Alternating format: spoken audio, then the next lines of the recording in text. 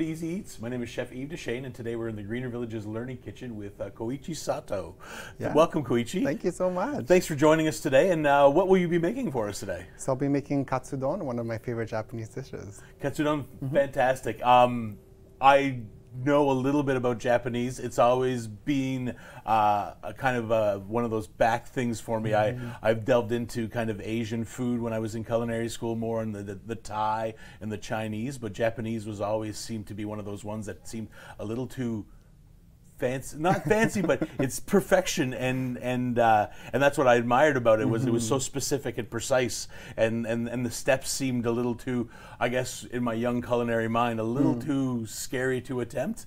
But uh, I'm happy to have you on and to show me one of these wonderful dishes. But before we get started Yes. uh, tell us a little bit about yourself sir. Yes, so yeah, I was uh, born in Montreal. My father's Japanese, my mom is from El Salvador. wow yeah Um, so yeah, I grew up with like all these different cultures, um, and food was really a, a vehicle for me to really explore my roots and really get acquainted with uh, both Japanese and Salvadoran uh, culture. Uh, my father's a chef, a Japanese chef, chef, so I really learned to cook Japanese by watching him, um, and yeah, so this is one of my favorite dishes that he taught me how to do. So so your father's a chef did you Yes. follow in his footsteps are you a chef yourself I am not a chef. Um, I, am a avid home cook. Okay, I yeah, love yeah. trying new things.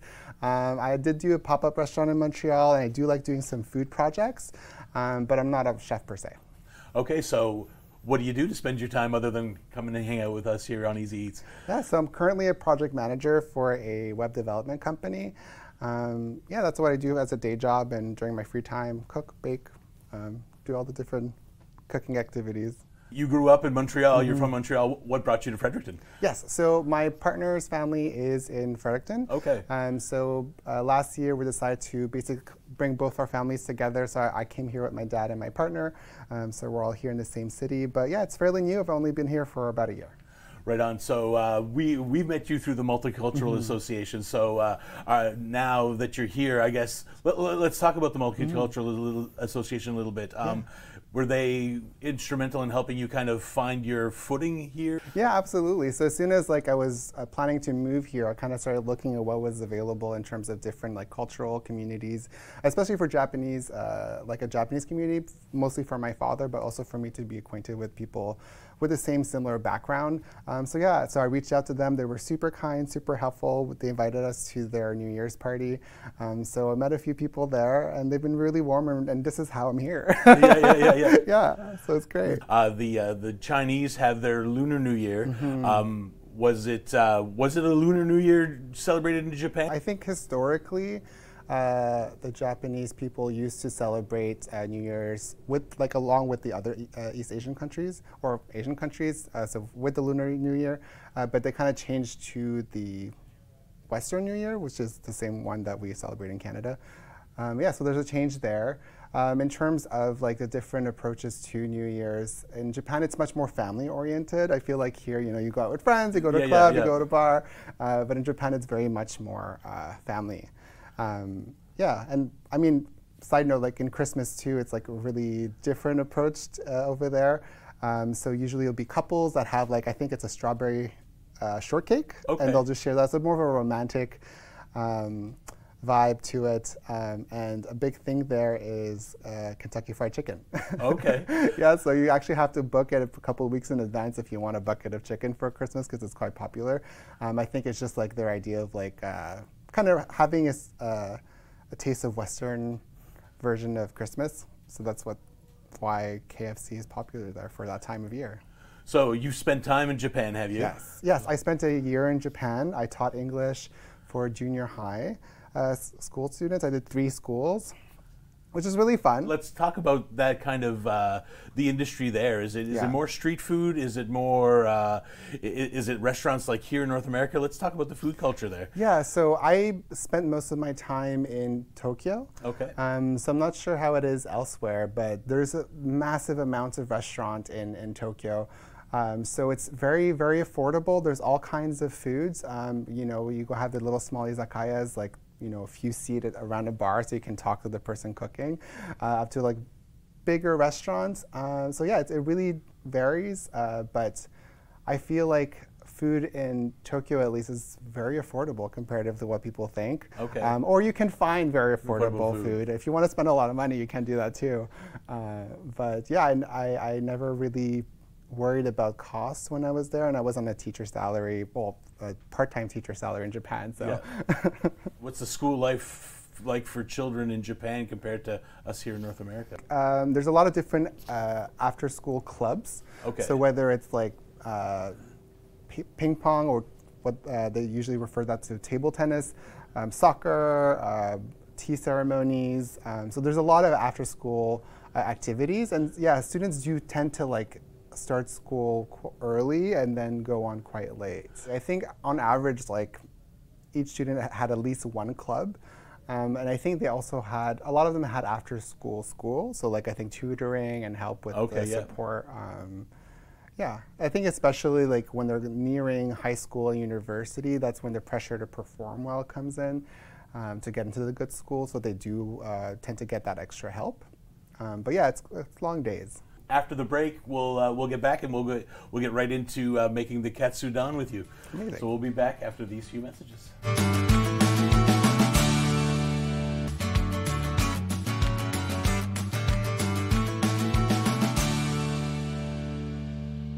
Welcome back to Easy Eats. Again, we're in the Greener Villages Learning Kitchen with Kyoji Sato, and he's going to show us how to make katsudon.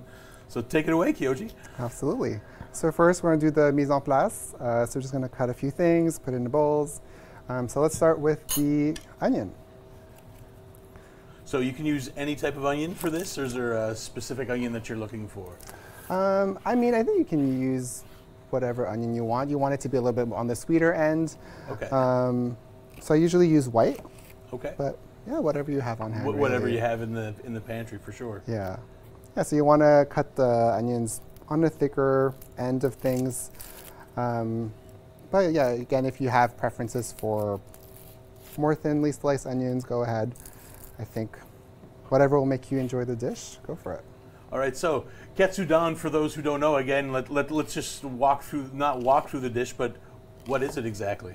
Yes. So katsudon literally means, well, so there's like the different parts of the word. So Yeah. katsu uh, refers to tonkatsu, so which is the pork cutlet. Okay. And don is basically referring to donburi, which is a type of Japanese dish, which is uh, anything that's served on top of a rice bowl. Okay. Um, and yeah, actually, an interesting fact about uh, the terminology is that katsu, the verb to win, um, is also katsu. So Okay. a lot of students in Japan, or uh, before they go through a, a big exam, we'll eat katsudon the Okay, night like a before a little luck bit. charm yeah, sort of, yeah. exactly. And I guess a protein, healthy, and fried dish would probably you, you, you, you would think it would be too heavy to go into an exam with. Yeah, well, they might have it the day before, but I think it's just like, yeah, just to bring a bit of good luck, Good luck, yeah. before the exam. So I noticed you're using green onions as well. So Yes. uh, is there the green onions for garnish more or less? Yeah, or it's more for garnish, just to like make it a little bit more pretty. So I just cut in a julienne on a diagonal. And this is something that you sprinkle basically at the end, Okay, yeah. right before the dish is done cooking. And then I'll grate some ginger. So this is actually a tool I really like using. Well, I I was I was admiring it when we when we were setting up, and I was like, "That's a really nice uh, ginger grater, right?" yes. So it's technically used uh, for daikon Okay. usually, but I think it grates ginger and garlic one beautifully. So just like a really easy way Well, that's it because they tend to be sticky, and, Yeah. and it looks like it's uh, yeah, quick and easy. super quick and easy. Yeah, so there's not a lot of prep to it really. No, it seems like it's a, a very simple dish, which again on Easy Eats is what we're, we're looking for, and it's uh, and fairly inexpensive. I guess the uh, you're looking at the cutlets are, are, are the most expensive uh, of piece of uh, piece in this dish. Yeah, absolutely. So I'm just uh, gonna crack two eggs here, beat it lightly. You still want it to have like, you wanna see both the white and the, the yolk when you're cooking it, so you just don't wanna beat it too hard. This is for uh, the end Okay, as well. absolutely. Now, notice your chopsticks are a lot longer than the uh, the chopsticks that I that, uh, that we're used to seeing. Are Yeah. these uh, a specific chopstick for cooking, or do you just uh, yeah? Yeah, so they're basically uh, yeah cooking chopsticks. Uh, they're made longer so that you're not too close to the source of heat, especially when you're frying. You want to splatter yeah. all over your hand. Um, yeah, but it's a really handy tool. Um, I love cooking with uh, long chopsticks. Let's make the sauce. Sure. Great, So I will measure out. So one tablespoon of sake. And for those who don't know, what what what is sake? Um, so sake is a rice wine. Okay. And yeah, it's basically what people tend to drink when they're having Japanese dinners. Like if you go to a restaurant, you can order sake usually hot or cold. I personally like it warm. Um, but yeah, it's basically what you can get at the liquor store. I'm adding four tablespoons of soy sauce. And this is mirin, which is a sweet uh, version of the rice wine. Now I'm adding the, the hondashi. So this is basically the dried stock Yeah. Um, so you can, if you have like f- liquid hondashi, then you can definitely use that. And what does uh, the dashi add to the uh, to the sauce? Yeah, so I add some umami, some saltiness. Um, yeah, it just really makes the dish more balanced. There are five ways of tasting, right? There's Yes. salty, there's sweet, there's sour, there's bitter, and then Mm-hmm. umami, which is that unctuous, full feeling. Yeah, so I added the bonito and added some sugar. Uh, now I'm going to add the grated ginger. So this is not traditional. It's more of my dad's addition, but Okay, it's yeah. what I grew up with. So like whenever I eat katsudon, I always look for that uh, kick of ginger. Yeah, so then you have basically the base ready. So now we can batter our pork. There you go. So I noticed that you've got the three bowls out right there. So the bread, breading method is probably pretty similar. I mean, internationally, Mm-hmm. uh, and it's kind of similar to uh, well, we, we liken it to uh, a, a schnitzel Yes. or uh, or a, or a scallopini or Mm-hmm. or that kind of thing. So I guess that would be the uh, the Japanese version of that would be the, the katsu. So I'm just going to prepare the flour. Yeah, so you just need enough to like coat the Yeah. pork. Doesn't have to be Well, that's it. The flour is used so the egg can stick to the cutlet, right? Yes, exactly. And then, so that, and then the egg, the panko will stick to the egg. And so, and panko, panko is different than regular old breadcrumb. And uh, how is it different than?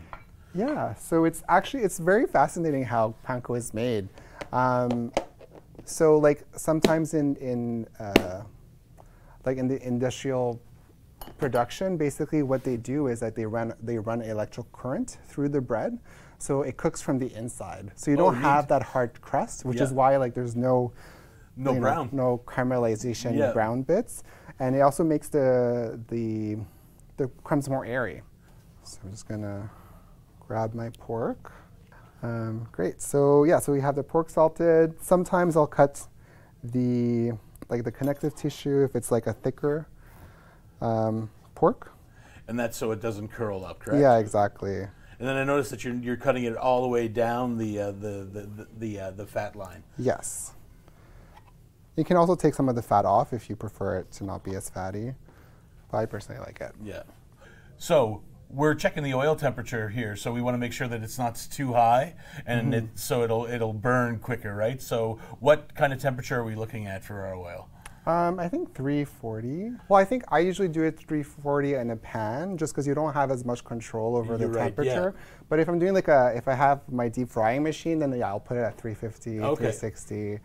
Um, but yeah, I just like to have a bit more control in pan. That's right. And, and and again, a little safety on this is make sure that we're shallow frying. So Yes. when you're shallow frying, we're only putting about an inch or so of, of oil in the pan. We're not filling that right up. Yeah. And we're going to have to turn it and make sure that again you've got an open space. Yes. Um, we have our hair tied up and pulled back. Yes. Things like that. No one wants to get hurt. You, you you scored the uh, the meat so it doesn't roll on itself. And so what's the next step in the breading process? so we're just gonna bread it. We're gonna put it in the flour first.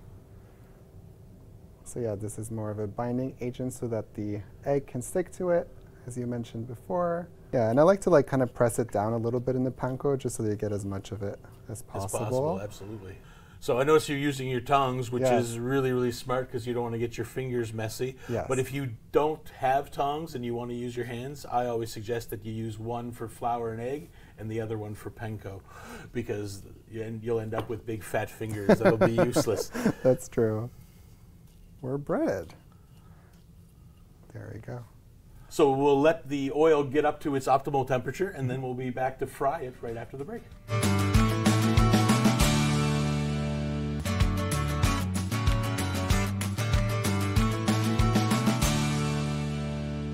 Welcome back to Easy Eats again in the Greener Villages kitchen with Kyoji Sato, and we are making katsudon. Um, our oil is ready. Yes. Our cutlets are ready. Um, Before we start, I noticed that they're they're nice and thin. Is that something that you're looking for?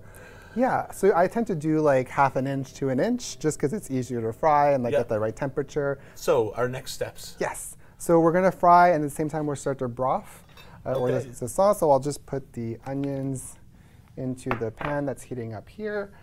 And right after, I'll just give this a little stir and put the sauce in. So we're just literally just poaching those onions into the broth. We're not giving it any color. We're not sautéing or sweating them out at all. No, exactly. You're just like cooking in the sauce until it's like a little bit translucent. So I am going to start frying the pork.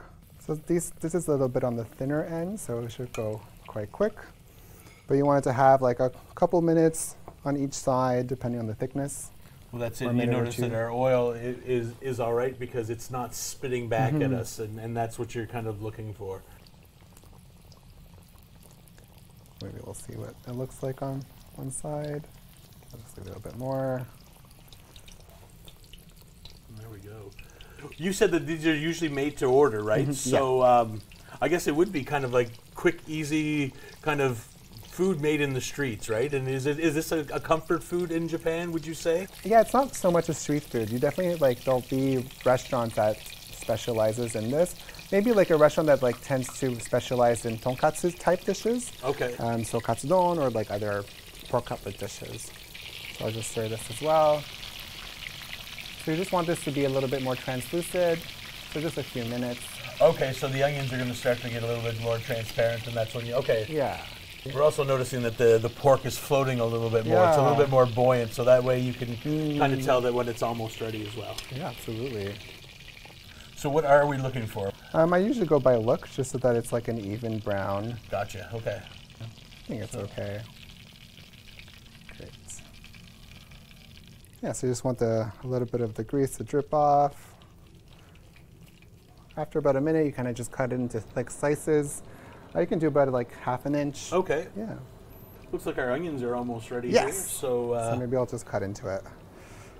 So you want to keep it in the same shape. okay, yeah.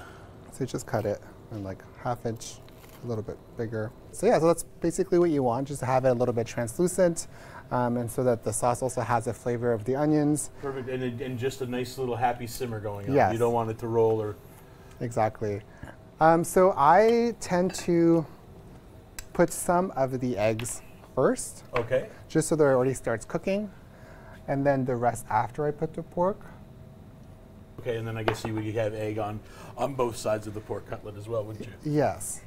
Traditionally, we would just put all the egg at once, um, but I feel like in Japan you tend to like your eggs a little less set. Okay, yeah. And I just pour the rest here. Less said like a French omelet. I like my Yes. I like my omelets uh, like they say baveuse a little bit Oh, uh, cool. a little uh, a little juicy. I don't like them overcooked. Yes. So And then we just cover it. just cover it, leave it for a few minutes. Um, once it's almost set, we'll add the green onions. Okay. Then we'll put the cover again and let it set to your liking, really. And then the whole thing goes right over top of you, like you said, Yes. a bowl of rice. Absolutely, just a, over a bowl of rice, and you ladle the, the juice all around it, and then you, because like so the rice really gets to absorb that sauce, um, so every bite is like flavorful and great. Are there any condiments that you Yeah. would traditionally serve with this? So this is a, a Japanese seven spice, so shichimi. Okay. Um, so yeah, there's different kinds of uh, different blends, different things in it. So like uh, chili, uh, mandarin, black sesame. Yeah, so there's actually like stands in, in or uh, stores in Japan where you can go and they they'll combine um, the different uh, ingredients in front of you, and then you can also choose what you want. So you can make your own seven spice. Yeah, Is that exactly. the idea? Yes. That'd be pretty neat. Yeah, Yeah. it's, and it's like super because it's so fresh, super flavorful. Um, I do sometimes actually add uh, pickled ginger, so I just yeah. find that like sweetness and that like acidity really helps the dish. I'm curious. I'm gonna take a quick Absolutely, yeah. So that's great. So then we can start adding the spring onions. Just cover it again for maybe like a minute. So we're just kind of wilting those onions and trying to get a little bit of flavor out of them as well. Is that kind of what we're doing? Yeah, or- exactly. And get much as much flavor from everything. Let's start plating it. Perfect. So I, I know that you've made some rice ahead of time for us, I did using my handy favorite rice cooker. which is uh, one of those uh, appliances that I think almost every home needs. It's Oh, yes. uh, is such an easier way to do it than, than on the pot. You can come almost kind of set it and forget it. It's it's just so handy, and I mean I eat rice almost every day. In Japan, actually, you refer to like dinner with uh, as gohan, which literally means rice. Okay. So even in like, if my dad has a meal like pasta, if he doesn't have rice, he'll just eat rice afterward because he doesn't feel like he's eaten unless he has Unless he rice. has a bowl of rice. So, Yeah. Um, you know, we had a guest on a while back uh, uh, who uh, who's his mother owned Thai restaurants, Oh, and he said the exact same Oh, thing. really? He said that it, meal wasn't over until until he had a bowl of rice, or if there was rice at every meal. Like here in North America, at one point it was bread on the table with Mm. every meal. Absolutely. Yes, I think we're pretty good to plate. Perfect. So this looks fantastic. Yes, boiling away. I always find it interesting the um, that we we've breaded it and then now we've put it into a sauce. Mm-hmm. Yeah. So it almost kind of defeats the purpose of the crunchy breading. But I'm sure that it. I mean, I can't wait to taste it. Yes. To see if it. Uh, if it lives up. So, Yes. next steps, I just bring that over to you. Yeah, absolutely. So we don't reach over that oil. Sounds good. I think we're good there. You go. There we go.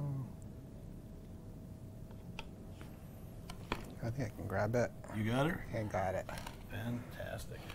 Yeah, so you just grab it in one piece.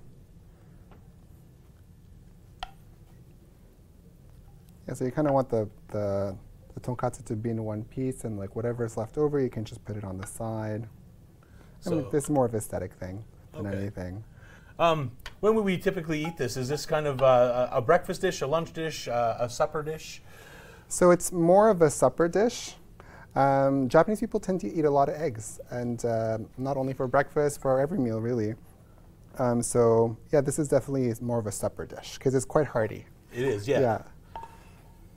Well, that's it. In other cultures, usually some of them have their heartier dishes in the morning, and Mm, true. then they, they lighten up as the evening goes. True. So, Yeah, actually, Japan does that too. but I think, I mean, I've I've mostly seen people eat the eat this on the, for supper. perfect. Yes, but yes, like in, in Japan, my aunt would, I would wake up to a full meal. It'd be like fish, miso soup, rice, uh, natto. Have you tried natto? No, I haven't. Natto is like a fermented uh, Japanese be- uh, soybeans. Okay. Yeah, it has a quite pungent smell. I I think it's a more of an acquired taste. I've definitely acquired it and I love it. It's really good for your health as well. So it's plated. We'll add some seven spice, Japanese seven spice, and that's about it. There you go. That looks wonderful. You can say itadakimasu. Mm. It's salty and sweet. Salty, and sweet. Mm-hmm. And as you were mentioning, uh, the frying and then the sauce, like it does add a very specific texture. But no, no, it gives the meat a nice unctuousness, Mm-hmm. and uh, again, it, it takes a, a cheaper cut, and it really elevates it. So Mm-hmm. Absolutely. Thank you so much for uh, for joining us today, telling us a little bit about your story, and uh, and sharing this wonderful recipe with us. Thank you. Thank you.